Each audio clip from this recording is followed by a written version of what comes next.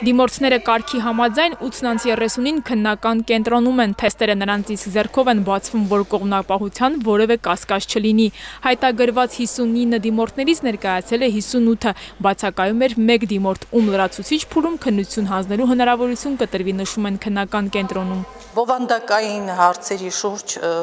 դիմորդները չեն դիմել, լրացման մեխանիզմը բացատրվում է շատ մանրակրկիտ, քննության ընթացքում տրվում է այս քննությանը 3 ժամ։ Դիմորդները քննական կենտրոնից դուրս եկան դեռ ժամանակը չլրացած առաջին հայացքից թեստի 80 հարցերը հեշտ էին թվում, այդուհանդերձ գրելուց հետո որոշակի անհանգստություն ունեն։ Այդքան էլ դժվար չէր, բայց շփոթեցնող հարցեր էլ կային։ Պնդումներից կային շփոթեցնող, որ լավ չէի հիշում դրանք, բայց Բարեբախտաբար գրել եմ նորմալ։ Որոշել եմ ընդունվել Երևանի Պետական համալսարանի լրագրության ֆակուլտետ։ Կոնկրետ իմ բաժնում 70 տեղ է, 50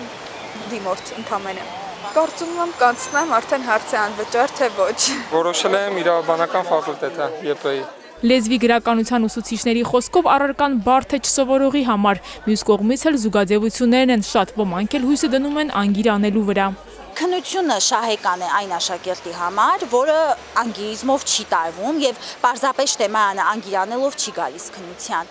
Հանդիպել եմ աշակերտների, որոնք տեքստը տեսնելով ասում են, այս տեքստում 9 հատ ստորակետ է, բայց չգիտեն այդ ստորակետը որտեղ պիտի դրվի կամ ինչ հիմնավորում է։ Արմատած անցումշնափոխությունում է թե անմեղ բաներ են, չի, բայց դա 4 դասարանում են ընդամենը անցնում, 5-րդ դասարանում թռուցիկ շատ թռուցիկ են անցնում ծրագրեր, իսկ այստեղ տրված է շատ խորությամբ։ Բացի այդ նաև ինչու ոչ, ձևաբանությունը, շարահությունը տրված է շատ խորությամբ, այսպիսի խորությամբ միայն բանասերները պետք է իմանան, այն էլ համասարանը ավարտած։